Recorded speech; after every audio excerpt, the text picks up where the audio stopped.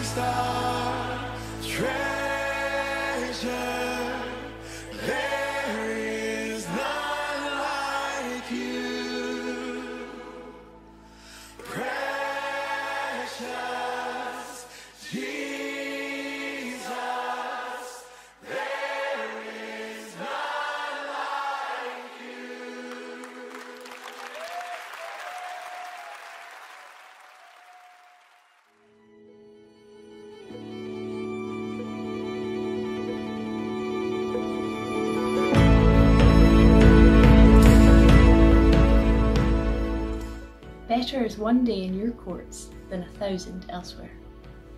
I would rather be a doorkeeper in the house of my God than dwell in the tents of wickedness. For the Lord God is a sun and shield. The Lord bestows favour and honour. No good thing does he withhold from those whose walk is blameless.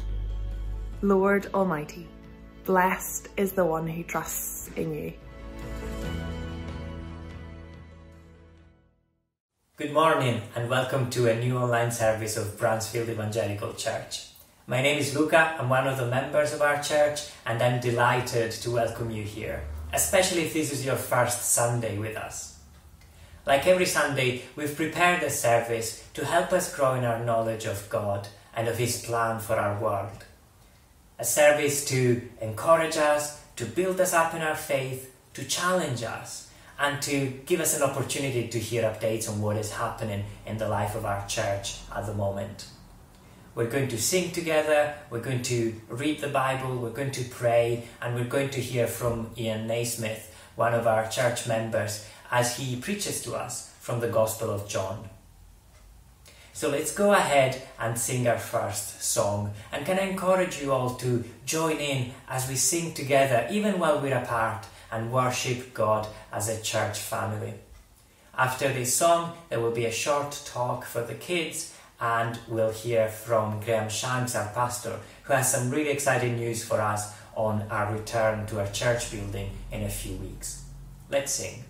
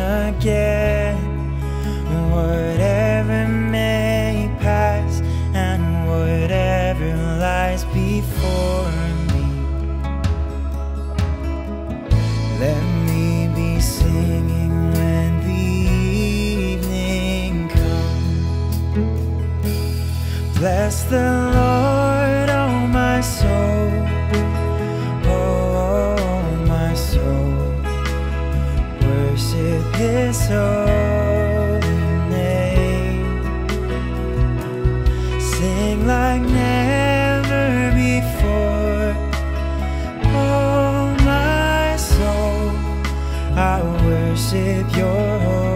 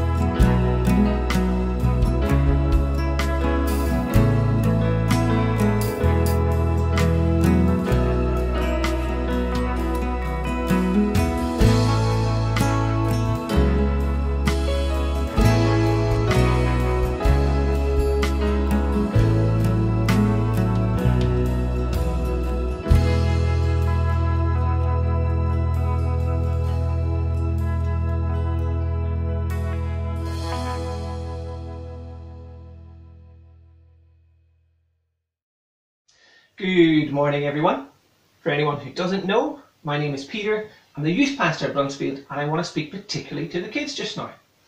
Now, if these guys just uh, have turn around and have a look, okay, you might be able to see at home that we've got uh, some funny shapes on the wall, uh, and this is a puzzle for you uh, to work out. Now, it helps if you can read. So if you can't read, you might need to ask a grown-up. See if they can read it for you. Ask them if they can read this for you. Can any of you guys read this? Um, no. Okay, so what we've got here is we've got what we've got. We've got a black square. We've got a, a long black rectangle. Uh, another rectangle with three rectangles sticking out of it. We've got another one with one sticking out the side. A small rectangle. Something that maybe looks a bit like a, an axe upside down, and then we've got a cross. Now, what do you think that could mean? Any ideas? No, no. Any ideas at home? No? This is quite a puzzle, isn't it? Uh, and why are we thinking about a puzzle? Well, who have we been learning about? Joseph. We've been learning about Joseph, and his life is a bit of a puzzle, and he helped some people that had some puzzling things. Okay? Joseph had to work out the puzzle.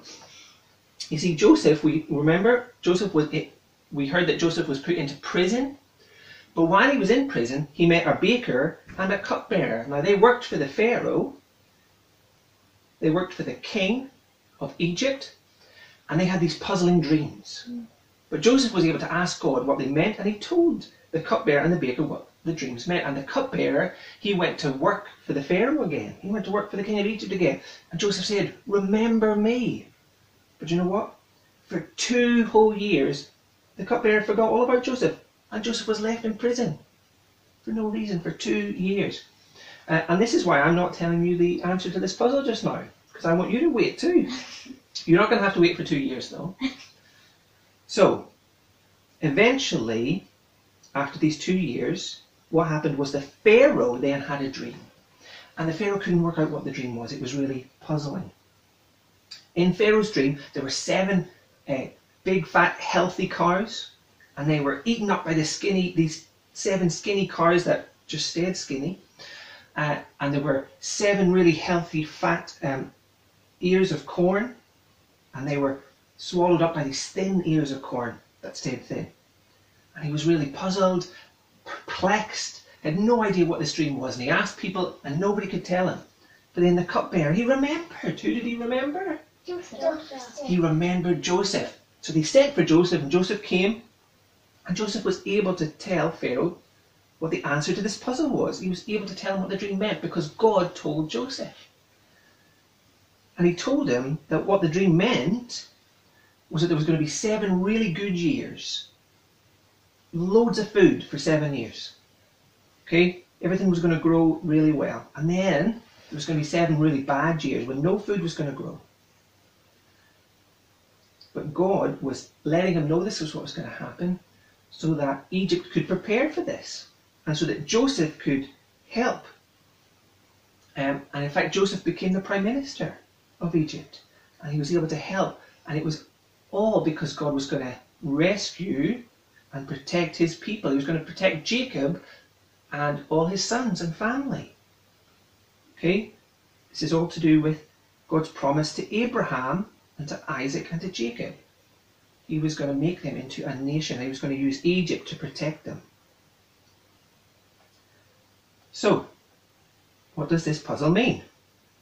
Well, okay, let me give you a clue. Okay, what you need to do is you need to not look at the black shapes, you need to look at the brown shapes in between the black shapes. Okay, see what you can see. Okay, I'm going to help you by drawing a line. Okay, what can you see? Is that helping? Yeah. What What can you see? Okay, so we need a line at the top, and we need a line at the bottom, and we can put a line on the end here. We're sort of putting a frame around it to help you read the shapes, the brown shapes in between the black shapes. Okay, what can you see? U S J S Okay, we've got a J, we've got a J, J and then E we've got an E, an E, and then S. and then an S, a S. So J, S. Yeah? What have we got here? An A. Yeah, the letter U. And then what do you think this last letter is going to be? And Another S, another S. So what have we got? Jesus. Jesus. We've got Jesus, okay? And it was there all the time. Jesus was there all the time. It's just you couldn't see it because you were looking at the wrong Oh thing. yeah. Okay? You shouldn't have been looking at this black shape. You should have been looking at these brown shapes. It's actually letters. J E S U S, Jesus. And you know, when we learn about Joseph, you can't help but think about Jesus. Because Joseph was treated a bit like Jesus. Okay? Jesus um, was God's chosen one, and he came to rescue us. Just like Joseph was chosen by God, uh, and God had a plan to rescue his people. Jesus, like Joseph, he was treated badly. Um, but it was all part of God's plan. God had a plan for Joseph's life, God had a plan for Jesus' life. Uh, when Jesus was killed, actually, it was part of God's plan. It was his plan to rescue us. So let me pray. Dear God, thank you for the story of Joseph and all that we can learn from Joseph and his life and how he, he trusted in you. And we thank you for how you had a plan for his life and how you used him to rescue his family. And Lord, we thank you for Jesus uh, and the plan that you had so that Jesus uh, could take the punishment for us so that we don't have to. Lord, I thank you for that plan to rescue us. Amen.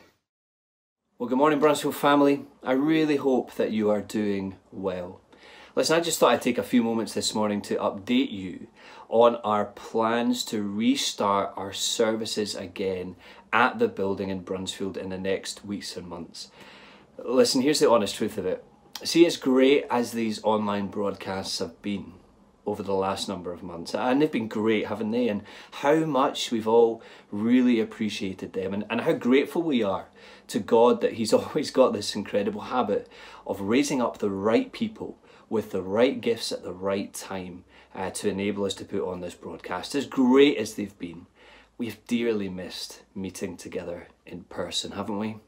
And we've realised, uh, some of us maybe even for the first time, just how wonderful a thing it is when, when we gather together with the express purpose of uh, singing God's praises and, and hearing from Him as we turn to the Bible, and, and how we so benefit from that is together we grow as Christians. Um, we've dearly missed that over the last uh, number of months. And so you can imagine that we were thrilled to hear recently from our government that they have given us the green light to, to think about beginning to meet together in our building again. And, and we just want to give all God, give God all the praise uh, and the glory for that. And we also want to recognize that many people in our world are still suffering acutely from this virus. And also, many brothers and sisters around the world would, would give anything for an opportunity to meet together in person again. So, we don't want to take that for granted, and rather, we want to seize it with both hands. And so I just want to give you two dates for your diary that we have targeted uh, as a leadership team that we're going to think about beginning to restart the services again at the building. Listen, the government have produced their own guidance on how we can do that safely and we're going to follow that to the best of our abilities because we want to give everybody who comes in our building confidence uh, that they're coming into a building where we've taken every measure that we can possibly take to ensure uh, that the building is as virus uh, free as we can possibly make it. But here's the two dates for your diary then. The first is the evening of Sunday, the 9th of August. And this is the Sunday evening that we've targeted for the restart of our evening service. Now, for various reasons, we, we, we've targeted that as perhaps the easiest and the simplest way to begin to meet together again. And so, so just two things maybe I want to draw to your attention.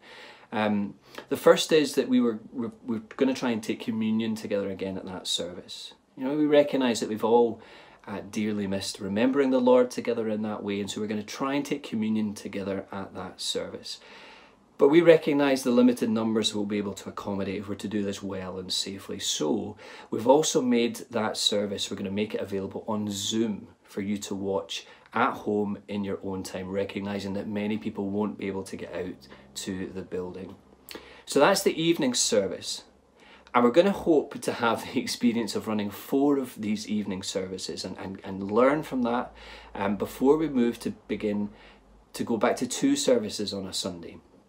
And so the date uh, that we've targeted for the resumption of the morning service is the morning of the 6th of September. Now, it's a, a, couple of things worth flagging there as well. We're really working hard to to ensure that we can have kids church in some way or another, whatever that might look like, uh, available at uh, that Sunday service. And, and I really want you to be praying and, and thinking uh, of the kids' church leaders as they have conversations about how they can do that safely. It's, it's a very complicated thing. Uh, and so we'd greatly value your, your prayers for wisdom as, as we seek that uh, way forward for kids' church.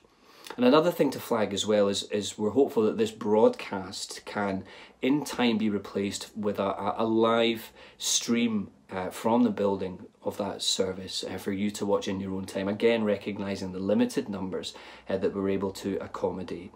So those are the two Sundays that we've targeted. Again, we just really value your prayers. You might be asking as well about the breaking of bread service.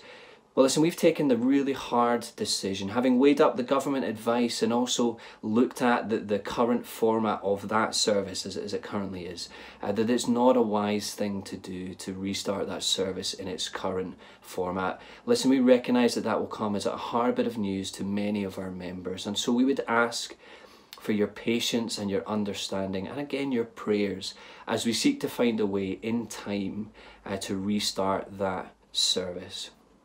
Well, Brun, so those are just a couple of dates for your diary. I really want you to be thinking about uh, those dates and prayerfully uh, thinking about the leadership team as, as we go on from here. We just want to do this well to the glory of God in our communities. We continue to, to, to seek to share the good news of Jesus with them. So thank you so much for tuning in. Bruntsfield, I really do hope you are well and I, I really look forward to seeing you again in person. God bless. How exciting to know that we will be able to meet in person soon in our church building. Let me just mention a few things that are happening this week. But first of all, congratulations to the Irving family on the safe arrival of baby Matthew. Let's keep Matthew, Hazel, the rest of the family whom we've just seen in the kids' talk in our prayers as everyone settles in. The evening service for this Sunday has been uploaded on YouTube already, so please go ahead and watch it tonight or whenever you get the chance. The sermon concludes the series in the book of Esther with chapters 9 and 10. We're also meeting tonight for our prayer meeting. We usually meet from 8 to 8.30. We've been meeting since the start of lockdown to pray together and these prayer meetings have been such an encouraging time during, during this difficult time. And so I would encourage as many of you as possible to join tonight, even if you've never joined one before. We'll be meeting a bit earlier than usual at a quarter to eight, just so we get a chance to um, discuss what we've learned from today's message. There will be two questions coming up on the screen after Ian's service, and we will use those two questions as a starting point for our conversation tonight. This is also a small group week, which means your group will be meeting at some point. If you're not sure when, then please get in touch with your small group leader and ask them. And if you're not part of a small group, please just send us an email and we would love to add you to one of the existing groups. You might know that we try maybe every month or so to set some time aside during our services to have an update from one of our church ministries. And today we're going to hear from Ruth Aird as the leader of the pastoral care team. The pastoral care team have been working really hard during this time of lockdown, as you can imagine. And because one of the themes of today's message is going to be serving and being served, we thought it would just really be very appropriate for us to hear from the pastoral care team today. So over to Ruth just now. Hello everyone. My name is Ruth Aird and I'm one of the members of Bruntsfield Evangelical Church. My role is to coordinate the pastoral care team, which presently consists of 11 people.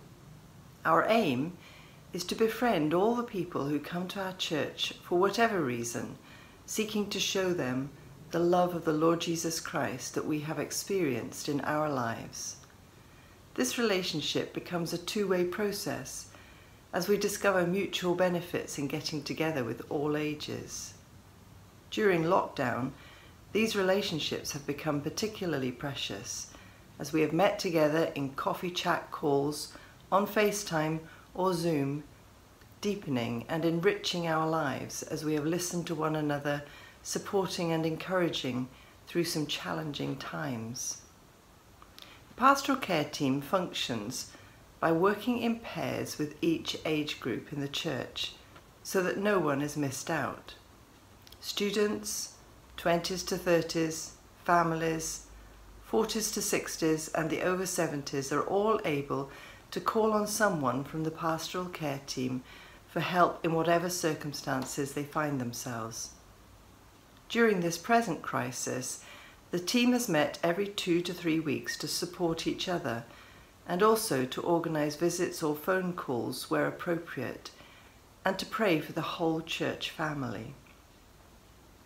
When the very first Christian church was being set up in Jerusalem, the disciples followed the lead of the Lord Jesus, who said that the most important thing was to love the Lord first and then to love each other. The disciples set up teams to care for many people who pass through their doors, listening to them and encouraging them in the day to day cares of their lives. We too aim to be like those first disciples, caring for one another and receiving care as if it came from Jesus himself. In fact, as a team, we have discovered the joy of serving all who come to our church. Church is like family, embracing each other as we live and serve together in different capacities across church, spilling out into the community around us. As ordinary people, we know that we are broken human beings trying to make meaning in this life of what goes on around us. The only meaning that makes sense and is the truth comes from God Himself, who sent His Son to die for us, in order that He might put our sinful lives back together again. When Jesus meets broken people and gives them new life, they are transformed and so pass on new life to others. If you want to get in touch with a member of the pastoral care team at Bruntsfield Evangelical Church for any reason, then please use the email address at the bottom of the screen. We would love to share with you the love of the Lord Jesus Christ, who gives it freely to all who ask. Thank you, Ruth. Let's now spend a couple of minutes in prayer. Let's bow our heads. Father, as we said at the start of the service, better is one day in your courts than a thousand elsewhere. How true this is for all of us, Father, as we recognize that you are the only one that we find strength, that we find shelter, that we find rest in. But most importantly, Father, we recognize that what we find in you is life, eternal life, through the death on that cross and resurrection of Jesus Christ. Father, we thank you because through that sacrifice, sinful as we are, you find us acceptable. And you welcome us, Father, because of your never ending love for us. And Father, we realize and we confess that so often we just do not behave as if we truly believe that one day in your courts is better than a thousand elsewhere. As we give into temptation and find ourselves spending our time, our energy, our resources in things that do not bring you glory. Father, we ask you to help us grow in our wisdom, help us grow in our faith, in a way that will make us more obedient to you, Father, in a way that will bring you glory and will make us become more and more similar to Jesus. Father, we thank you for how we've been blessed with these amazing opportunities to have these services and prayer meetings online, even during this time of, of lockdown. And we're so grateful for this. But we also, Father, recognize that so many people in our country and in the rest of the world are suffering because of this virus outbreak.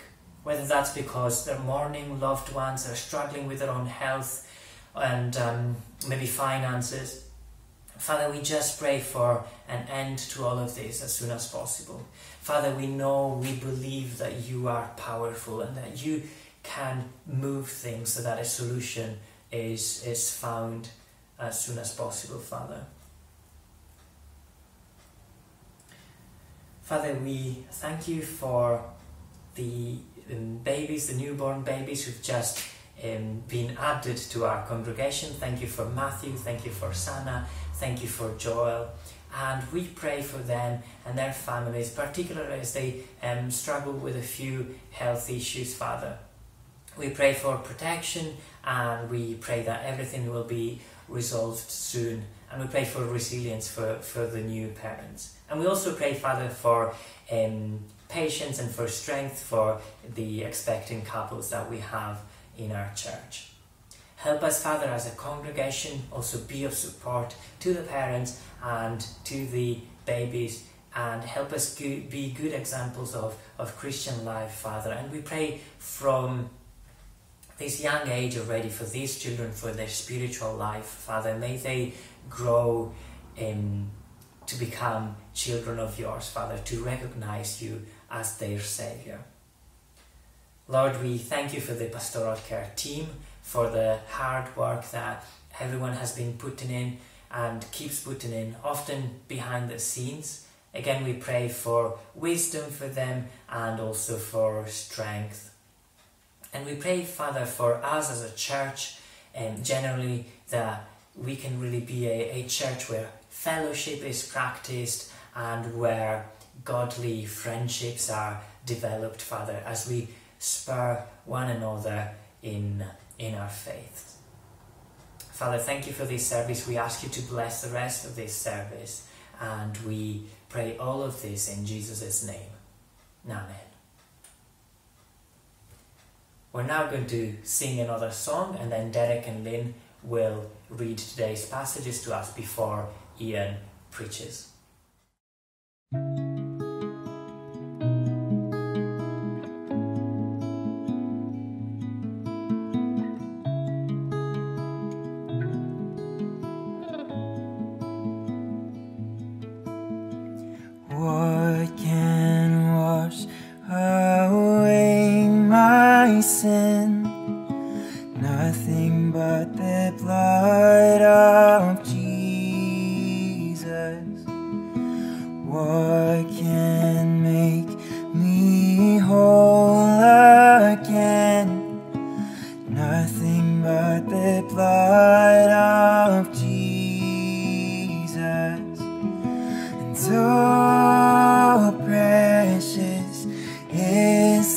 buffalo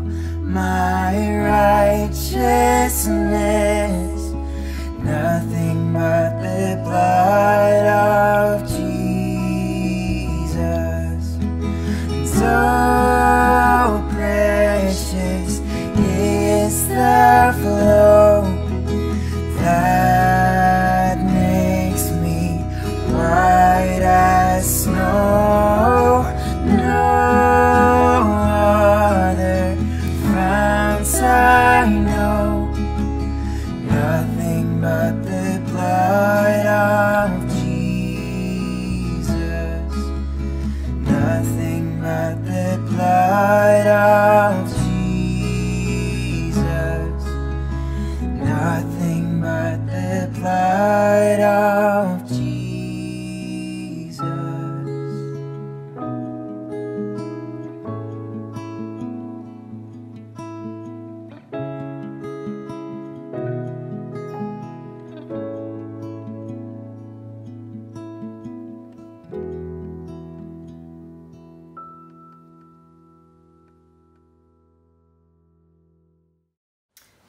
name's Lynn and I've been a member at Bruntsfield for two years now.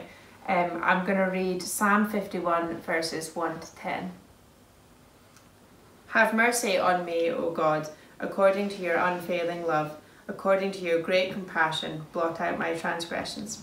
Wash away all my iniquity and cleanse me from my sin. For I know my transgressions, and my sin is always before me. Against you, you only, have I sinned, and done what is evil in your sight. So you are right in your verdict, and justified when you judge. Surely I was sinful at birth, sinful from the time my mother conceived me. Yet you desired faithfulness even in the womb. You taught me wisdom in that secret place. Cleanse me with hyssop, and I will be clean. Wash me, and I will be whiter than snow. Let me hear joy and gladness. Let the bones you have crushed rejoice. Hide your face from my sins and blot out all my iniquity. Create in me a pure heart, O God, and renew a steadfast spirit within me. Hi, my name is Derek and I'm Lynn's husband and I'm reading from the New Testament today um, in John chapter 13 verses 1 through 20. It was just before the Passover festival. Jesus knew, that the hour had come for him to leave this world and go to the Father. Having loved his own who were in the world, he loved them to the end. The evening meal was in progress and the devil had already prompted Judas, the son of Simon the Iscariot, to betray Jesus. Jesus knew that the Father had put all things under his power and that he'd come from God and was returning to God. So he got up from the meal, took off his outer clothing, and wrapped a towel around his waist. After that, he poured water into a basin and began to wash his disciples' feet, drying them with the towel that was wrapped around him. He came to Simon Peter, who said to him, Lord, are you going to wash my feet? Jesus replied, You do not realize now what I am doing, but later you will understand. No, said Peter, you shall never wash my feet. Jesus answered, Unless I wash you, you have no part with me. Then, Lord, St. Peter replied, Not just my feet, but my hands and my head as well. Jesus answered, Those who have had a bath need only to wash their feet, their whole body is clean, and you're clean, though not every one of you. For he knew who was going to betray him, and that was why he said not every one of them was clean. When he'd finished washing their feet, he put on his clothes and returned to his place. Do you understand what I've done for you? He asked them. You call me teacher and Lord, and rightly so, for that is who what I am. Now that I, your Lord and teacher, have washed your feet, you also should wash one another's feet. I have set you an example that you should do as I have done for you. Very truly I tell you, no servant is greater than his master, nor is this messenger greater than the one who sent him. Now that, you now that you know these things, you'll be blessed if you do them. I'm not referring to all of you. I know, I know those that I have chosen, but this is to fulfill this passage of scripture. He who shared my bread has turned against me. I'm telling you now, before it happens, so when it does happen, you will believe that I am who I am. Very truly I tell you, whoever accepts anyone I send accepts me, and whoever accepts me accepts the one who sent me. Amen. Now let's pray for Ian before the sermon begins. And Lord, we thank you for the gift of your word, and as we think on these things, open our hearts and our minds to hear you. We pray for Ian and we give thanks for the gifts that you've given him. Pray for him as he guides us through these messages and open our hearts to this. Amen. Good morning, everyone. I'm Ian, and I'm delighted to repeat the welcome that Luca gave you earlier.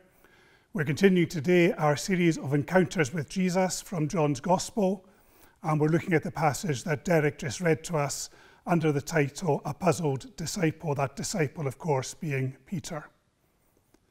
When I was growing up at Bruntsfield, one of my friends, John, was a talented artist. And one day, John's father came to him and said, I've got a special job I want you to do. I want you to make a sign that says divine service performed here three times daily. John was a bit puzzled about what his father meant, but he dutifully went away uh, uh, and in his best script uh, and with his best design, he produced a sign and brought it back. Divine service performed here three times daily. And his father said to him, Right, that's great, well done. I want you to go and hang that over the sink in the kitchen, because that's where you have the opportunity in this house to perform divine service three times daily. Well, it was a good lesson, and it was one that came to my mind as I was reading this passage this, for this morning.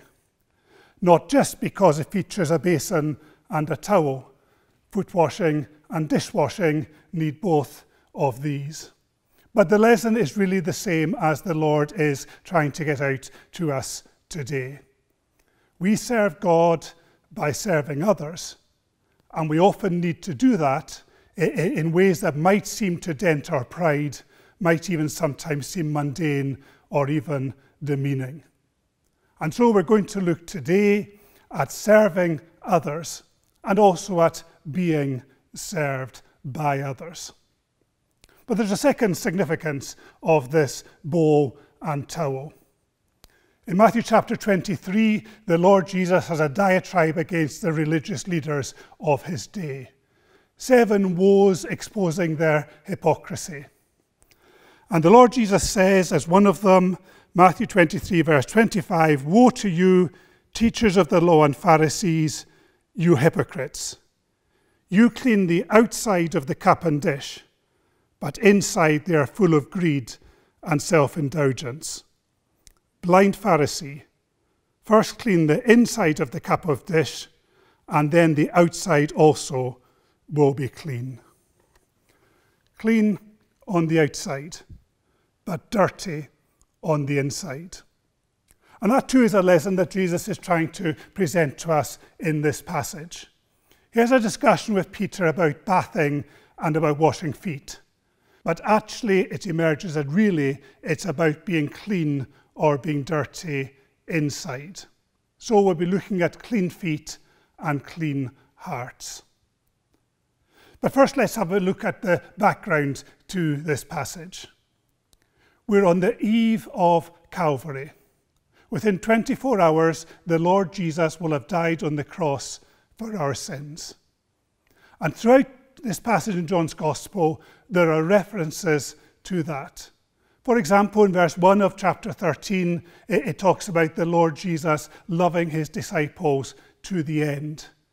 Uh, the word could be translated to the finish, and that parallels the Lord Jesus' final cry from the cross It is finished.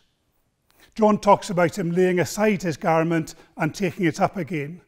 And the Lord Jesus uses the same words earlier in the Gospel about laying down his life and taking it up again. And there are several similar references as we go through. Very much in the Lord's mind and in John's mind as he writes is the fact that the cross is very close. But the disciples don't know that. They haven't realized that the Lord is going to die within a very short time. As far as they're concerned, they have come with him to an upper room to celebrate the Passover together. And of course, as part of that, the Lord instituted what we call the Lord's Supper or communion. Now, I say the disciples didn't realize what was happening, but I think there was a real tension in the room. The disciples knew that there was danger about, that the Lord was in danger from the religious leaders because he had exposed their hypocrisy and because he had stood up to them. And so they were very tense. And one of the things that uh, happened during the uh, time in the upper room was that the disciples had an argument about which of them was the greatest. That was one of the things on their minds. And I think that's relevant as we look at this incident here. Because the Lord Jesus was trying to teach them a lesson about greatness and about serving others. If you went to a house for a meal, the custom was that the host would arrange for someone to wash your feet. Your feet got quite dusty walking around Israel, and the host would arrange for your feet to be washed. And that was something that was done by the lowest servant in the house. The more senior servants would think it was below them. And certainly anyone who wasn't a servant wouldn't think this was something they should be doing. And so the Lord Jesus come to this room and there are no servants. There are only the 12 disciples plus Jesus. And perhaps the disciples were thinking, well, who's going to wash Jesus' feet? And maybe all of them were thinking, well, it's not going to be me, because if I wash Jesus' feet, I'll have to wash the feet of the other disciples as well. And I'm not going to wash the feet of Matthew or of Thomas or of Philip because I think I'm greater than them. They should be doing it, not me. And so you can imagine their horror when the Lord Jesus himself takes off his garment, takes the bowl of water and the towel, and goes round and washes the disciples' feet. It looks as if the first few of them accepted it, but when he got to Peter, Peter objected very strongly. And we'll look in a few minutes at that discussion between the Lord Jesus and Peter. But we're going to skip over it for the moment and we're going to think about the key lesson that the Lord takes from his washing the disciples' feet. The lesson about serving and being served. So the disciples hadn't been willing to do something that the Lord was willing to do for them. The one who was the master became the servant. And Jesus says, I'm leaving you an example that you should wash one another's feet. Now, I think as we look at this passage, we shouldn't take it that we literally need to wash one another's feet. That's not something that in our culture is normally done. We may do it um, to demonstrate our humility. I have nothing against that. People want to do it. But it's not something we do particularly to serve others. Perhaps my dishwashing example is a little bit better um, from that point of view uh, as something that we might do to serve others, although I don't think it gets quite to the heart of just how demeaning washing someone's feet would have been seen to be. But the Lord is giving us an example and He's saying, You should follow my example and you should be willing to serve others. If I was willing to serve you, then you need to serve others. And often you will serve them in unspectacular ways. I think all of us probably would like to be seen to be serving in public ways and to get recognition for it. But the Lord says we also should be serving, perhaps even more importantly, should be serving when it's not seen, when it's difficult for us, perhaps even when it dents our pride a bit, because we have a love for the Lord Jesus, and that's reflected in our love for others. Jesus said um, in Luke's Gospel, The Son of Man did not come to serve, but to be served, and to give his life as a ransom for many. Did not come to serve, but to be served. And he juxtaposed that directly with his giving of his life. Not that it is on the same scale in terms of the sacrifice he made, but serving and being served is really important to the Lord Jesus. In 1 John chapter 3, John writes this This is how we know what love is. Jesus Christ laid down his life for us, and we ought to lay down our lives for our brothers and sisters. If anyone has material possessions and sees a brother or sister in need but has no pity on them, how can the love of God be in that person? Do you get the two verses that are connected so closely again here? The one verse talking about the heroic. We lay down our lives for our brothers and sisters. The other verse talking about the mundane, the everyday, seeing someone who's in need and meeting that need. And it's really important, if we're believers in the Lord Jesus, that we are willing to serve others and we're willing to serve them in ways that we might not find very attractive and that might also not be very publicly recognized. One other thing before we move on. I talked about serving and being served. And that comes out earlier in the passage in the Lord's conversation with Peter. Peter was offended that the Lord should think he would wash Peter's feet. And yet Jesus says, Unless I wash your feet, you have no part in me.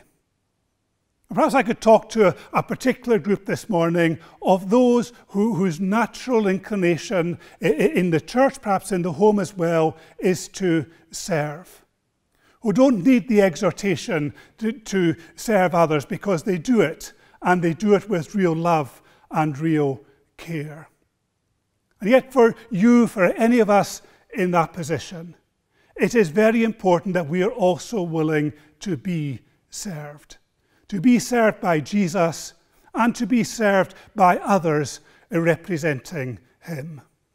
Remember the story in Luke chapter 10 Jesus goes to the house of Martha and Mary, and Martha's really busy preparing the meal. Mary's sitting at Jesus' feet, and Martha gets more and more upset at, at what's happening. And eventually she, she says to Jesus, Why don't you do something about this? Tell her to help me. And Jesus says, Martha, you're worried about many things, but one thing is important, and that is what Mary is doing. She is sitting at my feet learning from me. And however busy we are, however much we may serve the Lord and we may serve others, It's really important that we spend time with Jesus, letting him minister to us, and also that we let others perform their service and to serve us at times as well. Serving and being served. Second thing I want to think about is clean feet and clean hearts. And that is uh, the discussion that the Lord Jesus has earlier on with Peter. This discussion that seems to be about washing feet and having a bath, but actually very clearly is about being clean or dirty inside. Now, is the relevance of the passage from Psalm 51 that Lynn read for us earlier, where David has committed a sin and he feels really dirty. He feels that he is soiled inside and that he needs to be cleaned. Look at the language wash away all my iniquity and cleanse me from my sin. Cleanse me with hyssop, and I will be clean. Wash me, and I will be whiter than snow. Now, David had just committed adultery He, he'd, Bathsheba had become pregnant, and to uh, hide the fact that David was the father, he'd arranged to have her husband killed in battle. So he was quite justified in feeling really dirty inside. And there are some sins, I think, that make us feel dirty inside as well. Sexual sin, whether with our body, our eyes, or our mind, may well make us feel dirty. Addictions could make us feel dirty, including addictive habits, perhaps perpetual dishonesty, telling little lies repeatedly. These kind of things we recognize are wrong and they make us feel dirty inside. But really, all sin makes us dirty. Did you notice when we had the passage uh, um, from Matthew 23 uh, about Jesus talking about the Pharisees uh, and the dirt that was in them? What was it that made them dirty? It was greed and self indulgence. Ouch. And then Paul, in his letters, in several of his letters, he has a list of things that characterize those who are living by the flesh, a list of sins. And among them, there are many of the kind that we might expect to see there. There are the, the sexual sins that society looks at, perhaps not so much these days, but looks at uh, askance uh, and recognizes that they are wrong. But then there are things like greed and envy and loose talk. Ouch. Because these are things also that all of us might be aware of in our lives, but don't take too seriously. Paul says these make us dirty as well. All sin makes us dirty before God and makes us subject to God's punishment. That's the bad news. The good news is that all of our sins can be forgiven through the death of the Lord Jesus. There is none of us that is too bad to be forgiven. There is no sin that God is not willing to forgive because of Jesus' sacrifice on the cross if we confess it to him. 1 John chapter 1 verse 7 says the blood of Jesus his son purifies us from all sin. Now in this passage uh, clearly there are two types of washing that Jesus talks about. There is feet washing and there is whole body washing. So Jesus says to Peter, You must let me wash your feet if you want to be part of me, if you want to be my disciple. And Peter says, Well, then wash my whole body, please, uh, Lord. And Jesus says, No, if someone's had a bath, they only need their feet washed. Now, in this, the Lord Jesus, in talking about someone having had a bath, is talking about us coming to Him for salvation to begin with recognizing our sin, recognizing the dirt within us, and recognizing that only by His blood can we be purified from our sins. It's symbolized, isn't it, in baptism? Baptism, uh, one of the pictures it presents to us is dirt being washed from the body, symbolizing uh, dirt being washed from the inside as we trust in the Lord Jesus. So there's that once for all uh, time when we come and confess our sins and trust in the Lord Jesus and have our sins forgiven. But our feet constantly get dirty. Or perhaps uh, in the time of coronavirus, we could say our hands get dirty. We need to keep washing our hands regularly to make sure they don't become contaminated. And Jesus says we need that kind of regular washing as well. Yes, we're clean inside through his death for us. But we do get contaminated by society around about us and by our own sinful nature that is still in us. So we need to constantly be coming and confessing our sins to Jesus and being renewed in our fellowship with Him, being made again completely clean. A couple of verses on from the one I quoted a minute ago, John chapter, 1 John chapter 1, verse 9. John writes, If we confess our sins, he is faithful and just and will forgive us our sins and purify us from all unrighteousness.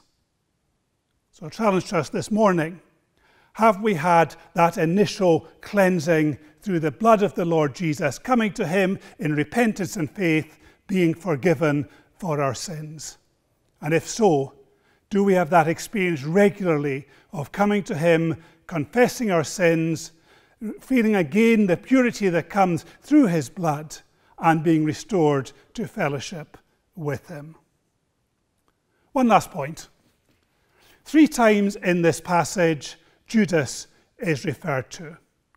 Very much in John's mind and in Jesus' mind is the fact that there are 12 disciples there and one of them doesn't really belong. The other disciples were unaware of it at the time. As far as they were concerned, Judas was one of them. But in reality, Satan had entered into Judas. Judas was not clean like the other disciples. And I think that's a very sobering thought for us. And we should be examining ourselves and saying, Am I one of Jesus' disciples? Quite often, when we preach, we say, If you're a Christian, then here's a lesson for you. If you're not a Christian, then here's something you should think about. And perhaps some of us, when it comes to the bit that says, If you're not a Christian, we kind of mentally turn off and think that doesn't apply to me. But all of us need to examine ourselves and say, Am I really one of the Lord's disciples? Have I really got his salvation? 2 Corinthians chapter 13 and verse 5, Paul writes, Examine yourself to see whether you're in the faith. Test yourselves. Now, Paul is thinking that most of the Corinthians, when they apply that test to themselves, will decide that yes, indeed, they are in the faith, they are Christians, and will then conclude from that that Paul's ministry is valid as he says it is. But he does envisage the possibility that there will be some who are not truly Christians, that they're not in the faith, that they haven't got salvation through the Lord Jesus. And I would suggest to everyone this morning that we examine ourselves, that see, we see whether we are truly the Lord's. Is our faith completely in Him for our salvation, for the forgiveness of our sins? And if we can see it is, where is the evidence in a transformed life, in the behaviours, in the love that we show to others? Examine yourself to see whether you are in the faith. A basin and a towel, serving and being served, clean feet and clean hearts. If we belong to the Lord Jesus, let's follow his example. Let's go and during this week, let us serve others in any way that we can. And let all of us make sure that we are clean inside, clean through faith in the Lord Jesus, and have clean feet, figuratively, as well, that we confess our sins to Him regularly and know again that experience of His forgiveness and of fellowship with Him. Let's pray together, and for our prayer, I want to take the words of an old chorus and let's apply them to ourselves. Let's pray. Cleanse me from my sin, Lord. Put your power within, Lord. Take me as I am, Lord, and make me all your own. Keep me day by day, Lord, underneath your sway, Lord. Make my heart your palace and your royal throne. Amen.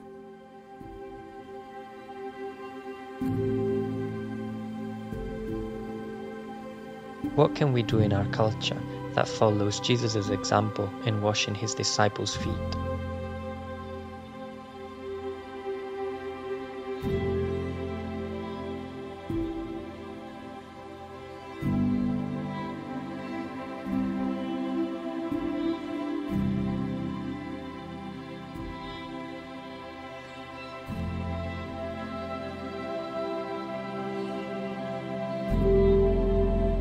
How should we examine ourselves to see if we are in the faith?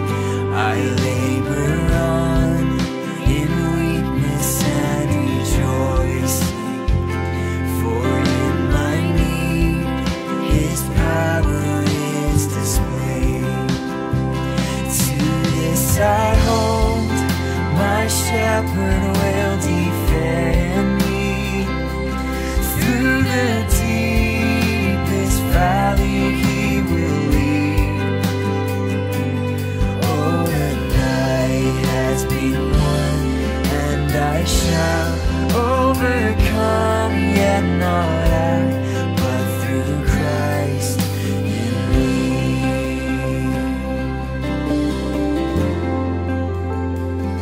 No fate I dread, I know I am forgiven. The future sure, the price it has been paid. Jesus bled and suffered for my pardon, and he was raised to overthrow the grave. To this I hold, my sin has been defeated. Jesus now.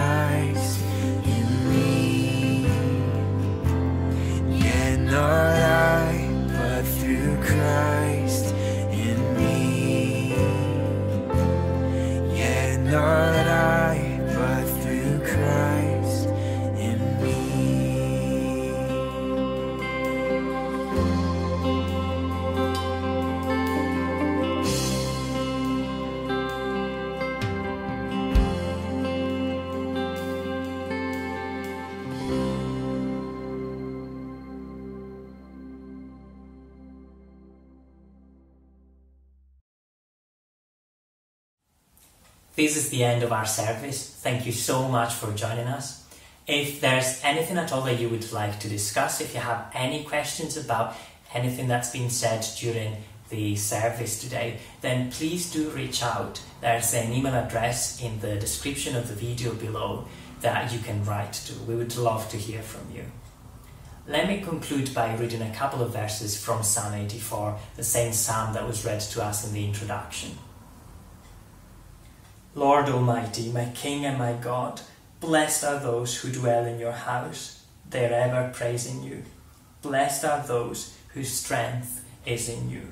Lord Almighty, blessed is the one who trusts in you. Amen.